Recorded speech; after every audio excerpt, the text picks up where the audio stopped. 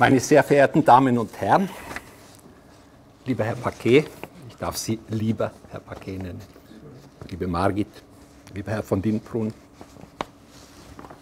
die anderen kann ich jetzt nicht alle nennen, sonst wird es nichts mehr mit der Rede. Die Ausstellung, die ab heute in der Galerie Paquet zu sehen ist, ist mit dem Wort Licht überschrieben. Es sind erneut Werke von Manfred von Lindbrunn zu sehen. Licht ist ein Begriff, der eine Fülle von Assoziationen in unserem Kopf erweckt. Deren Spanne ist immens. Sie reicht von dem Ausdruck, das Licht der Welt erblicken, bis zum pietätvoll den Verstorbenen nachgerufenen Wunsch, das ewige Licht möge ihnen leuchten. Man könnte eine ganze Rede bestreiten mit der Präsentation von Wendungen, sprachlichen Bildern und Vergleichen, die allesamt mit diesem Urphänomen zu tun haben. Doch dazu bin ich nicht eingeladen. Meine ehrenvolle Aufgabe ist auch heute wieder die eines Laudators.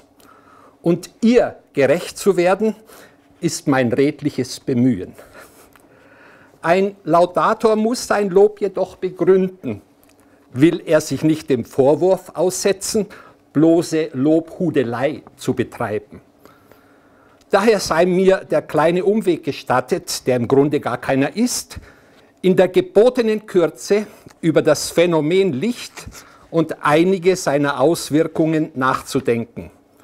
Der Blick wird sich dann, wie ich glaube, ganz von selbst auf das Lindbrunsche Schaffen und seine ausgestellten Werke richten das Licht, diese edle Himmelsgabe, von der jedes glückliche Geschöpf lebt, wie es, Schiller, wie es bei Schiller im Tell-Drama heißt, ist Voraussetzung für das Sehen. Am Licht haben sich unsere Augen gebildet. Ohne Licht sehen wir nicht, sehen wir nichts, weder Formen noch Dinge noch Farben. Erst dank des Lichts werden wir der Welt voll und ganz teilhaftig. Durch die Augen als Einfallstor dringt sie, sichtbar geworden, ein in unseren Kopf, in unser Gehirn und setzt dort einen Mechanismus in Gang, den wir Denken nennen. Was ist das, was wir sehen? Wie sieht das genau aus, was wir sehen? Sehen die anderen die Dinge auch so, wie wir sie sehen? Ist das, was wir sehen, tatsächlich so, wie wir es sehen? Unterliegen wir möglicherweise einer Täuschung? Könnte das, was wir sehen, auch anders sein?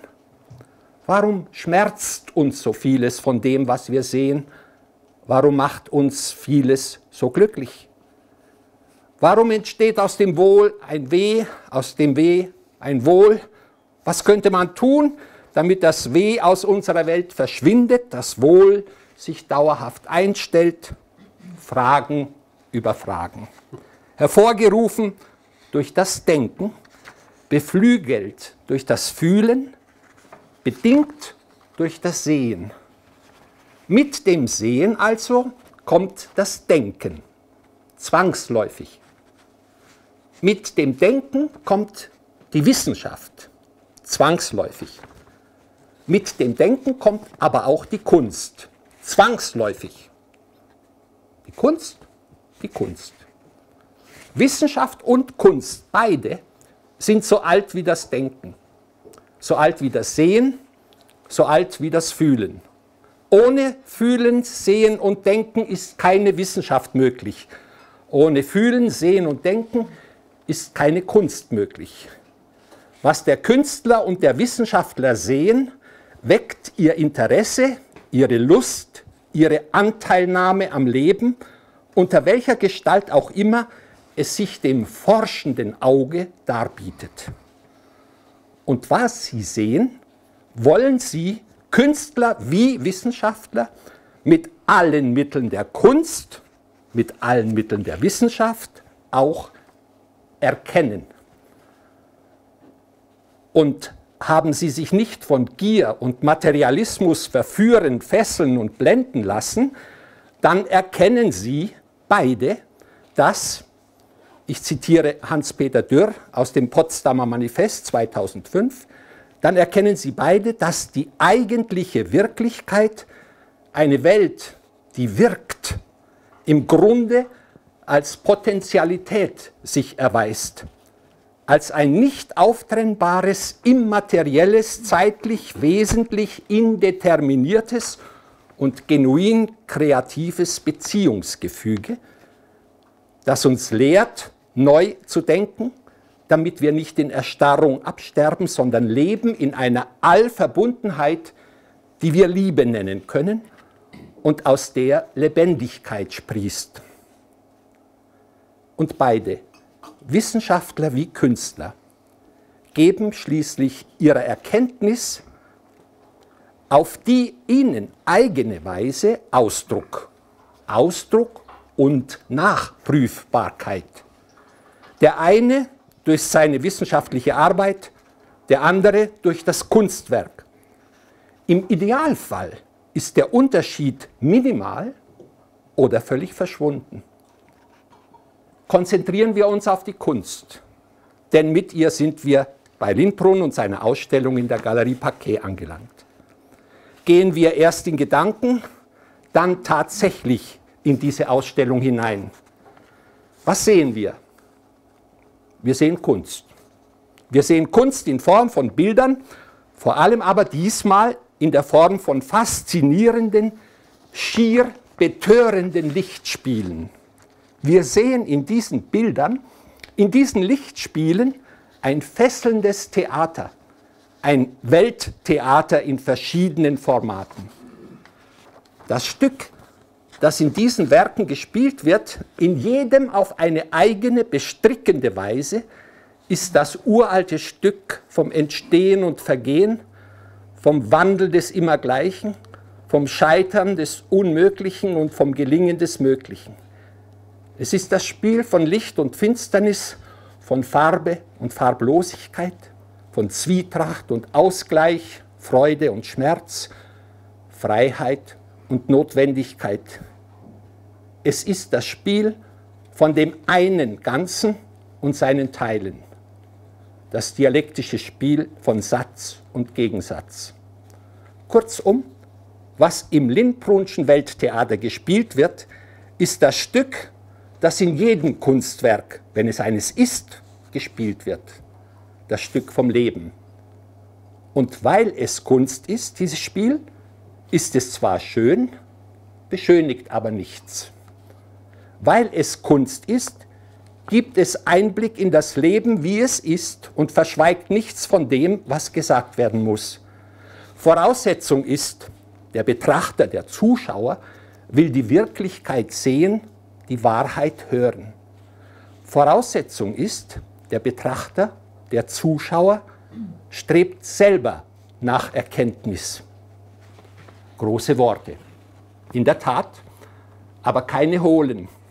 Sie sind belegbar, nachweisbar am Werk.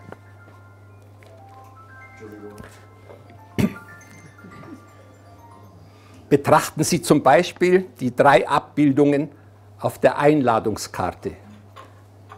Die Originale hängen in den Ausstellungsräumen.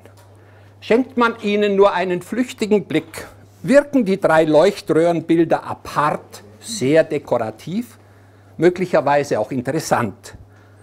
Fasst man sie aber genau, lang, aufmerksam und vor allem wissbegierig ins Auge, beginnt auf ihnen ein Spiel, das es mit jedem Drama aufnehmen kann. Die verschiedenfarbigen Lichtröhren die auf dem ersten schmalsten Bild eng beieinander liegen, auf dem zweiten schon weiter auseinandergerückt sind und auf dem dritten, auf der dritten breitesten Tafel beinahe verloren, eher matt vor sich hinleuchten, teilen scheinbar ein schlimmes Los. Das Schicksal oder ein neugieriger Experimentator hat sie auseinandergerissen, zerhackt oder ganz planmäßig getrennt und neu zusammengesetzt. Die neuen Verbindungen haben jedoch wie alles Neue durchaus ihren Reiz. Sie zeitigen neue Farbnuancen, lassen die Farben je nach Nachbarschaft changieren, versuchen, bleiben wir ruhig bei diesen Vermenschlichungen, versuchen nicht ohne Erfolg, sich mit den ihnen aufgezwungenen neuen Verhältnissen zu arrangieren. So spürt man, wie zum Beispiel das Rot, das Grün, das Gelb oder Violett über die jeweils dazwischen gesetzten Farben hin nach seinem verlorenen Teilstück sich sehnt, sich die Vereinigung mit ihm zurückwünscht, in spannungsvoller Sehnsucht über Abgründe hinweg mit ihm verbunden bleibt, schmachtend, leidend, duldend und doch den Lebensmut, die Lebenskraft, die Lebensfreude, das Leuchten also nicht aufgibt. Bei aller augenscheinlichen Festgefügtheit herrscht ein virtuelles Hin und Her. Kann man ein sehnsüchtiges Pochen und Pulsieren spüren, ein verführerisches Glänzen, ein verlockendes Flimmern wahrnehmen und trotz oder gerade weil, wegen der Teilung hat sich, wie Thomas von Aquin sagt, ein gewisser Einklang der Gegensätze ergeben. Ist über die Distanzen hinweg ein neues, harmonisches Ganzes entstanden, das atmet, lebt und leidet. Und weil es atmet, lebt und leidet, sich in ein Neues verwandelt. Das All bleibt ruhig und wandelt sich beständig. Was für ein Spiel. Ein Lichtspiel nur? Das schon auch. Vor allem aber ein Kunstwerk, ein Beispiel ein Licht- und Welttheater, das niemals zur Ruhe kommt. Das erkennen lässt, wie alles zusammenhängt, auseinander hervorgeht und wieder ineinander in ein Neues wächst. Wer will, kann aber noch viel tiefer in dieses Lichtdrama in drei Akten eindringen und beispielsweise Goethes diesbezügliche Studien äh, im Sinne habend die psychologische Wirkung der einzelnen Farben auf uns als Betrachter untersuchen. Wer will, kann aber auch von den Leuchtröhrenbildern sich ab und dem ebenso aufregenden wie unterhaltsamen Dramolett zuwenden, welches die kleinen Figuren aufführen, die frei im Raum balancierend in oder an ihren transparenten Würfelchen agieren, aus ihnen heraus ins Leere klettern, die Nachbarwürfel anstreben oder einfach aus Not, aus Hunger, aus Lebenshunger vielleicht oder aus Sehnsucht nach Neuem, zu munteren Abenteurern, verwegenen Akrobaten, wirren Spielern oder verwirrten Närchen mutieren, vielleicht stürzen, vielleicht fallen, vielleicht Unheil für sich selber anrichten wie für andere, vielleicht aber auch sich selber und andere retten. Wer will, kann dann den Würfelkletterern und Raumhüpfern den Rücken kehren und sich von den von den Dramen in Bann schlagen lassen, die in einem packenden Lichtrelief aufgeführt werden. Oder die Lichtgespenster und fantastischen Raumverzauberungen beobachten, die die rotierenden Leuchtstabwürfel heraufbeschwören bzw. bewerkstelligen. Wer will, kann sich durch das grandiose Spiegelungstheater, das die Leuchtröhrenbilder in den Chaotikbildern zur Aufführung bringen, verzücken lassen kann sich in diesen neuen, tiefen, wunderlichen und ganz und gar mysteriösen Räumen verlieren, kann sich in nie gesehene Welten hineinsaugen lassen und das geheimnisvolle Spiel der Verwandlung von Chaos zu Ordnung und von Ordnung zu Chaos miterleben. Welchem der ausgestellten Werke der Betrachter sich auch widmet, sicher ist, wer mit Lindbrunschen Bildern Skulpturen oder Lichtspielen sich abgibt, wird niemals zu Rande kommen, wird immer etwas zu betrachten, zu entdecken, zu erleben haben, wird durch die Betrachtung dieser Werke zu neuen Einsichten in sein Leben kommen, wird durch die Betrachtung zur Erkenntnis gelangen, die seine Mitwelt betreffen. Wer mit Lindbrunscher Kunst sich abgibt, an ihr sich reibt, an ihr sich abarbeitet, wird von ihr getröstet, durch sie erfreut und mit der Welt versöhnt. Denn er erkennt, dass das farbenreiche Spiel des Lebens auf der Bühne der Welt trotz aller oft genug herzzerreißenden Dramatik nie eine sinnlose Tragödie ist, dass das große Welttheater nie absurdes Theater sein kann. Wird die Welt so wie sie ist, als eine schöne erkennen und wird die Welt deshalb lieben und sich selber dazu. Ich danke Ihnen.